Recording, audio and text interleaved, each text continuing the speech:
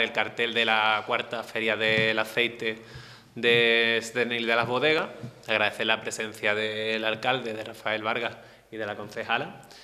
Y no tengo mucho más que decir porque creo que ya la feria habla por sí sola. Stenil de la Bodega es un referente a nivel provincial, no solo en turismo, sino también en agricultura y en la industria agroalimentaria en concreto ya que estamos hablando pues, de que es uno de los principales productores de aceite de oliva de, montaña, con una denominación de origen eh, protegida. Eh, ponen en, manifiesto eh, el uso de las técnicas sostenibles medioambientalmente y creo que es la vía por la que tenemos que optar desde las administraciones públicas para proteger al sector, a los sectores económicos que favorecen el crecimiento de la provincia, sobre todo porque afianzan población al territorio. Y en este sentido, pues creo que, que Setenil pues, es un municipio que está promoviendo el turismo de forma desestacionalizada a través de su economía y en concreto pues desde la agricultura, tanto con productos como el aceite, los espárragos y entre, otros. Y en cuanto a la, a la oferta de actividades y demás que se van a llevar a cabo en el próximo fin de semana, que estamos hablando del, 16 de, de noviembre, pues ya el alcalde dará más detalles de cuáles son las actividades. Decir también que esto es un encuentro no solo para profesionales del sector, sino, también para visitantes de los pueblos vecinos y de, de, toda, vamos, de toda Andalucía, porque estamos hablando de que somos un referente, que el sector agrícola y en concreto el del aceite cuenta con un 30% de la economía de Andalucía y que desde esta Diputación, pues como no podía ser de otra manera, pues favorecemos la visibilidad y la,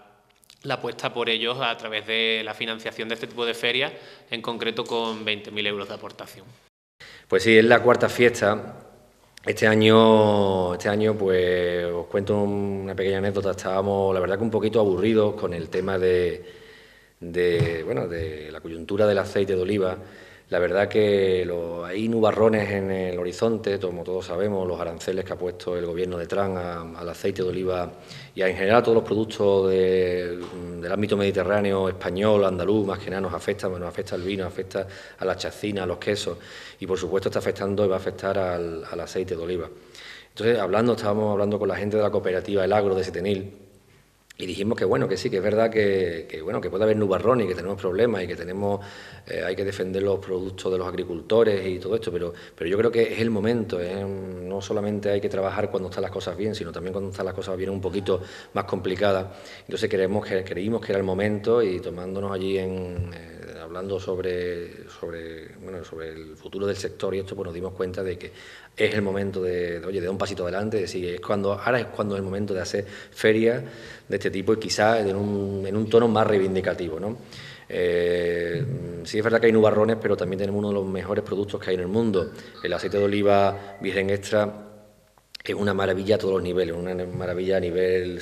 biosaludable, a nivel gastronómico, por supuesto, pero también a nivel medioambiental y a nivel, eh, a nivel sociocultural. ¿no? Entonces, pues se trata de eso, de defender lo que tenemos, defender un modo de vida y defender un sistema sostenible de ganarse la vida, de anclar la población al territorio, de, vender quizá mm, la calidad, la calidad que estamos, que estamos produciendo y exportarla al mundo. Eh, es el momento de hacer una fiesta una más reivindicativa si cabe. Por eso este año hemos decidido hacerla eh, justo en el corazón, en el corazón de lo que es el aceite setenileño, que es la cooperativa El Agro. La cooperativa El Agro es una, institución en nuestro pueblo. Está desde 1953, Virginia, no me equivoco, 56, eh, mm, dando, trabajando y dando riqueza a Setenil de la Bodega. Están prácticamente todos los agricultores del pueblo y de muchos pueblos vecinos están allí asociados, son cooperativistas y es una institución sin la cual sería imposible de, entenderse tener. Que hemos creído que era el momento de hacerla allí en la cooperativa, de hacerla allí con los socios, de abrir las puertas, de que vieran las instalaciones tan, tan, tan modernas que tenemos y de ver el lugar donde se hace el verdadero zumo de aceituna, el zumo de aceituna de Setenil de las Bodegas. No lo digo yo, no es que sea el alcalde, que, que, bueno, lo podría decir perfectamente, soy consumidor e incluso si me pone hasta productor de aceite de oliva. A pequeña escala, pero mm, lo dicen los análisis que le hacen a los aceites setenileños y están siempre en el primer nivel a nivel de, de, parámetros biosaludables y, por supuesto, de sabor. Eh, como digo, no lo digo yo, sale así reflejado en todos los premios que recibe y en todas las catas que se hacen. Eh, tenemos un producto, como digo, de auténtica calidad y yo creo que eso tenemos que decirlo, no podemos seguir por más tiempo, bueno, pues trabajando y no, siendo capaces de sacar nuestros productos y al mundo, en decirle al mundo lo que tenemos. Entonces, pues estas ferias son muy importantes. Yo por eso pues doy las gracias a la apuesta que hace la Diputación de Cádiz en su Departamento de Medio Ambiente eh, por esta fiesta. Eh, entrando en materia, pues, pues hemos concentrado lo que es el grueso de la feria en un día, que es el sábado, el sábado 16 de noviembre. Se trata de bueno, de, empezamos como se suele empezar en todo este tipo de fiestas, con desayuno molinero, eh, como se les llama, bueno, que es muy sencillo, que es lo típico, nuestros molletes, nuestro pan con aceite de oliva y bueno, lo que, lo que venga bien, cafelito y lo que venga bien. Seguimos después que la presentación, la presentación institucional, que, que es a las 12, a las 12 del mediodía, en la que bueno, pues hablaremos de todas estas cuestiones de las que estamos hablando, de la defensa del sector y la defensa de nuestro aceite de oliva, tanto en Setenil como en, como en la Sierra de Cádiz, como en el resto de Andalucía. Y después pues entraremos en lo que es bueno, una serie de ponencias técnicas y, lo que es el aspecto lúdico que siempre tienen aparejado estas fiestas, que son pues evidentemente gastronomía y fiesta y convivencia de, con la gente del pueblo, con los agricultores, con los productores y en definitiva con todas aquellas personas que quieran venir a visitarnos porque se trata de eso, de abrir las puertas de una cooperativa, que vean el lugar donde se genera el aceite de oro virgen extra de Setenil y para eso hacemos la fiesta allí en la cooperativa Lagro, para que todo el mundo venga a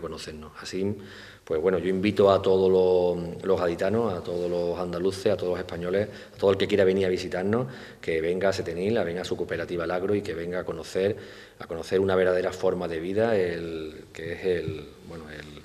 el sitio donde se produce nuestro aceite